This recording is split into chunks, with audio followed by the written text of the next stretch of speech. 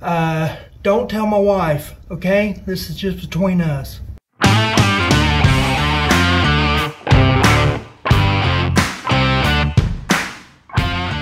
So the wife and I bought this shed just a few weeks ago and there's no power going out to it and we want to have lights inside. It's very dark in here. So what I've done is I bought a solar light and I'm going to show you how to install it.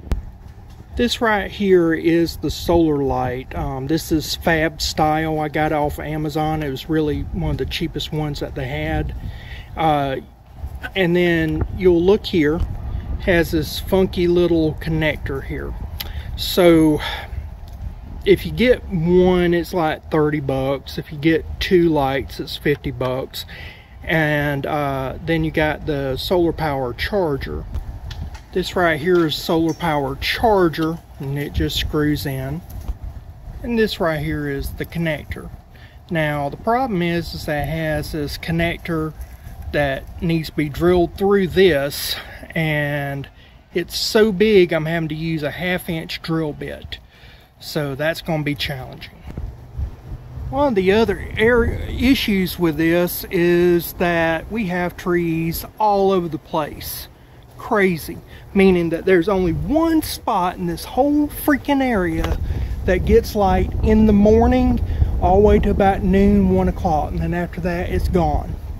So this is my only area right there I can put the the little um, charger there and from by doing that you'll get enough charge to use this as much as we're going to use it man that is a giant honking drill bit half inch barely fit in the drill so we're going to drill right here into the very corner and I'm gonna have to do this um, without the aid of the camera because I'm working by myself and this is very precarious where I'm at.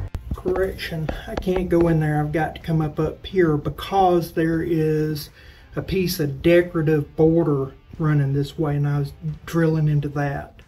So I'll have to fill that up with some wood glue and the rest of those shavings and go up above this. Okay, we're through you can see that hole over there. So I've got my wood glue. We'll pack it in.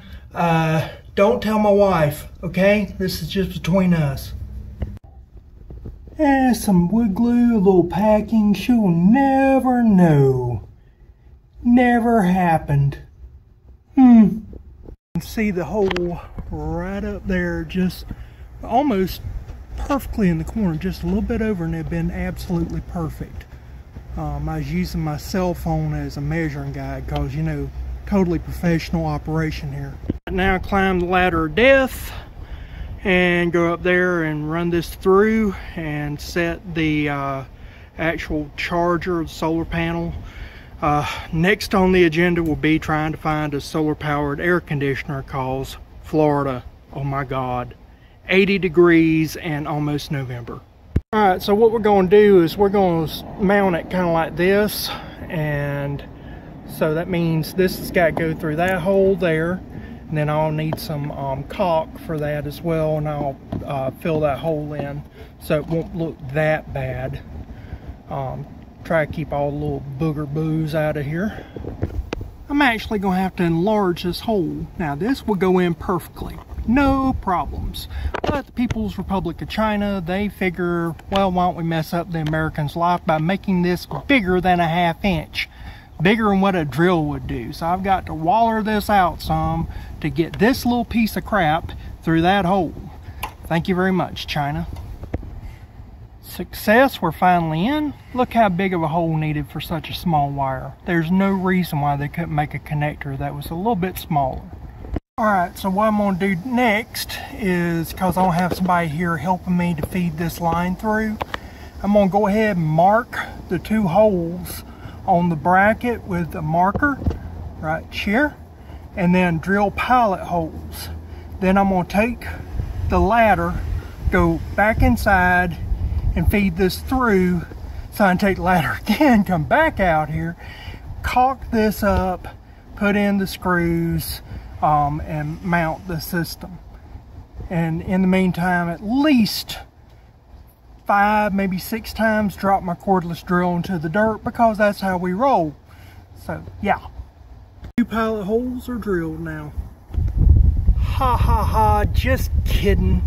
Um, just realized that the charger, the solar panel is connected this wire and I can't have it flopping out around here. So I've actually got to run the line through first and then I'll do all that. So we're, we're having to change game plan. There we are, not too bad. And then what we'll do is fill this with silicone best we can. Yeah, the end busted off silicone, so yeah, I got that on my hands now. That's good. All right, after soaking my hand in various solvents that are not approved for that application, my hands are clean. Time to screw this in place.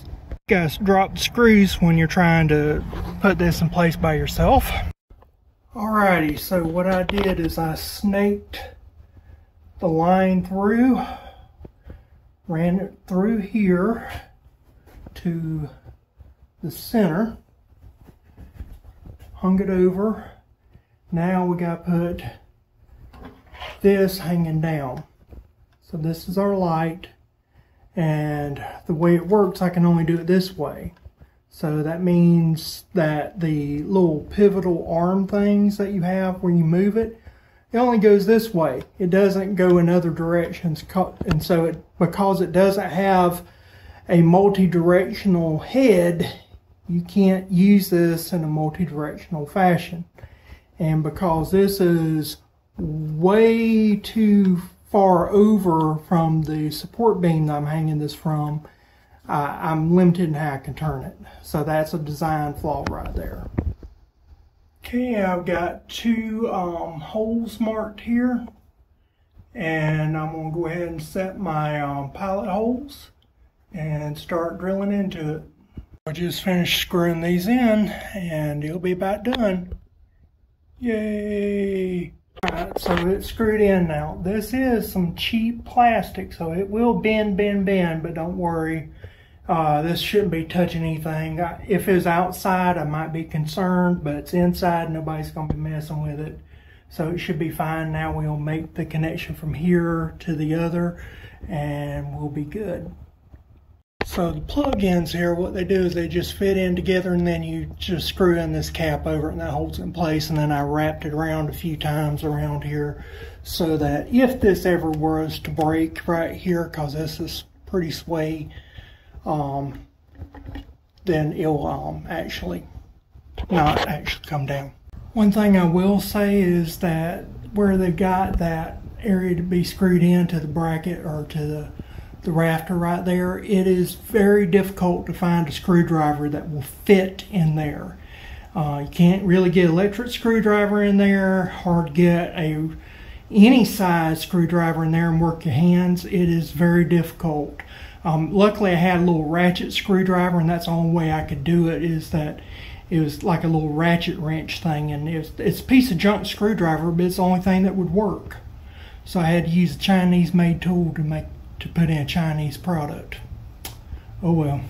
So with this, I have to use a um, a special remote.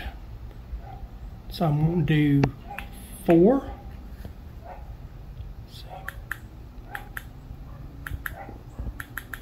Hmm.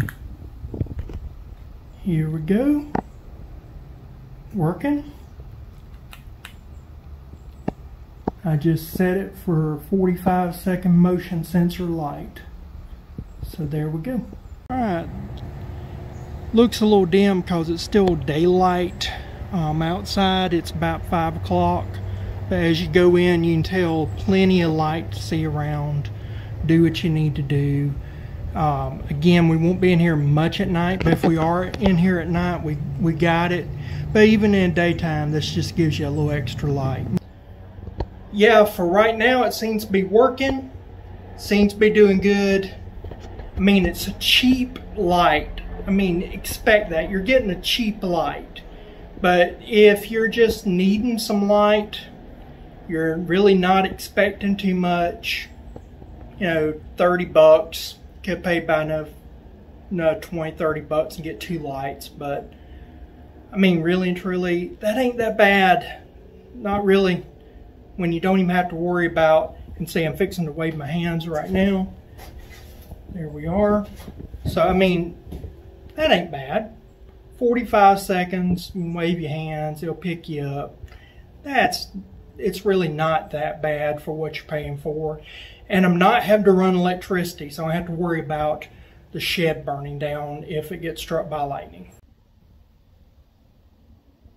So it's been about, I'd say, a two week time period since I installed the light. And right now I'm standing in my shed underneath the light. Let's move out a little bit and you can see it does give a pretty good amount of light. I can't complain about that. Uh, definitely when I get under it, it's brighter. Uh, as we get in the back, it's darker, of course. I would say that it's doing its job. I can't complain one bit about that. Uh, what I would say is that I wish that we had just more than the one light up here. Uh, they sell them in two. I would say go ahead, get two. Uh, I think I would be happier if I had gotten two and I may end up doing that. I may end up seeing if I can kind of split them and get, do two. I don't know how they're going to do that. Uh, some issues that I have with it, I don't like that little fitting connector that we saw. It's too big. They had it where it was soldered in and it was all plastic stuff and I hate anything that's got soldering with plastic. I'm the world's worst at that try and get where we don't have, got some good light. I I don't like the head on it where it's only going one direction. I wish I had a multi-directional head. It is cheaply built. I if it lasts a year, I'll be impressed. However, if you'll remember the solar powered spotlight that I did, the motion censored spotlight, uh, it's still there. It's still working. I can't complain about it. The wife is happy with it because she's got some light in here. She's like, we're not in here all the time. We're not doing a lot of work. We don't need a lot of light. I get it. I I'm getting older. I'm having problems with my eyes from the wreck. And this is the other thing I don't like. So you have to get right under the light to hit it. So uh, if I have multiple lights, at least when one went out, I could just do something like that and it, you know, would work. But I would say that for the value, it's worth it. Is it cheap Chinese made garbage? Yes, but it's functional. And that's that's the difference. I think people that we're used to just saying, oh, it's cheap Chinese made garbage, as in totally not functional. It is functional. It is not as well built as I would like. It has got a lot less features than I would like. Like I said, the multi-directional head, um, the way I can mount it in multiple different directions, I, you know, I can always cut a piece of wood and put it in the right direction that I want it, but then I can't move it in other directions. So having a multi-directional head would solve a lot of problems. Uh, that connector, I really don't like that connector. I can probably splice in and do some other stuff, but the charger is really, really small, so I don't know how many lights you could run off of that charger, even though they are LED. I have not tested this light to see how long it stays on. So, I mean, I might find that after a few hours it's just too dim to use. I haven't noticed that so far. Just working out in here, it does fine. So, there's that. You know, it's it's doing what we need. We don't have a lot of light. Like I talked about, we got a ton of trees. Now we're going to have more light in the winter as the oak leaves fall off. But in the summertime, that's really going to be the true test. Now, they do talk about that heat impacts it. So, Florida heat, I really don't know. Florida, they talk about moisture and heat being really bad, even though it's supposed to be waterproof. Okay. Florida's really wet in the winter. Uh, we get a lot of sporadic rain in the summertime, even though we're drier in the summertime than we are in the winter. But we still get a ton of rain no matter what. Uh, heat, I mean, good God, we was we had heat indexes 115, 120. Again, I hate that motion thing, uh, but it is what it is. So it is it is good. It is good for what it's for. I don't have to run electricity to the shed. I do have no electricity in the sheds whatsoever and still have, uh, you know, a light and things of that nature. So I'm really happy with that. I think it is good for what it's doing. Uh, could it be better? Absolutely. But I mean, you're going to pay for better. And tell you truth, 50 bucks for two lights wouldn't be bad.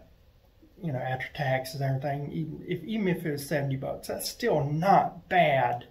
Uh, it could be improved, yes, but everything can be improved upon. But yeah, that's that's my review of this.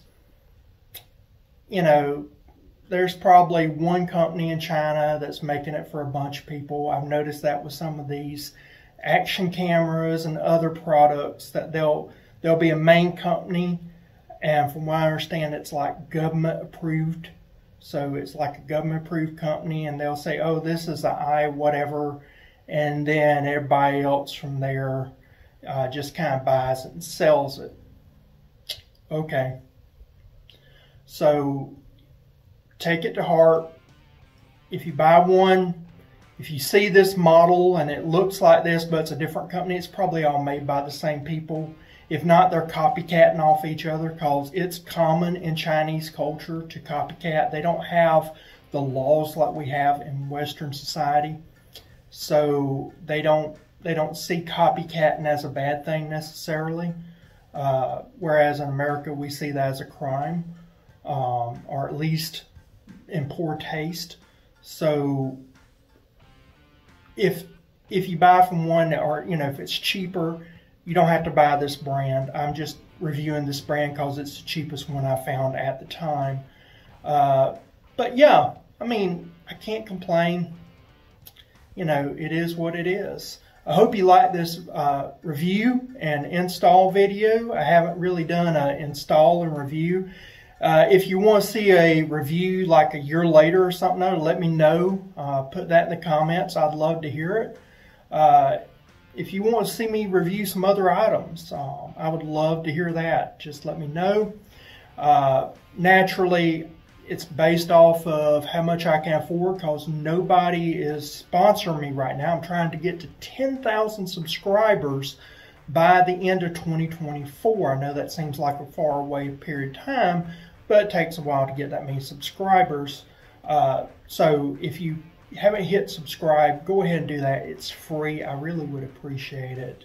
Uh, like, like I said, comment down below. I love hearing that. It really helps the channel as well. And with that, I guess I'll see you again next time. Bye.